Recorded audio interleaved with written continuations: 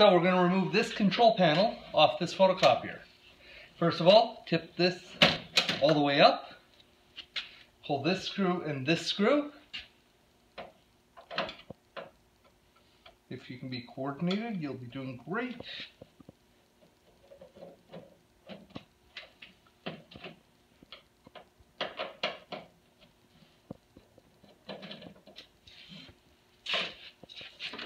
And there are two more screws. There's one right here.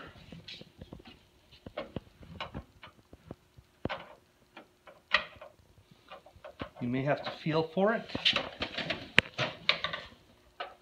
or be coordinated again.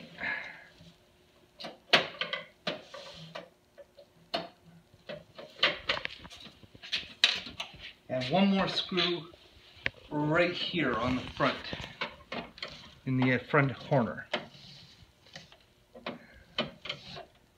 You may desire a flashlight.